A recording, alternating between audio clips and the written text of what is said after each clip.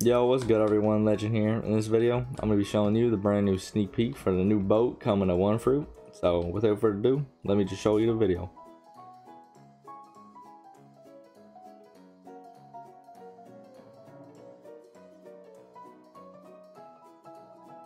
I think that looks pretty cool. I think it's a boat, and I think it's fast. Good night, everybody. I'll see you in a few million years.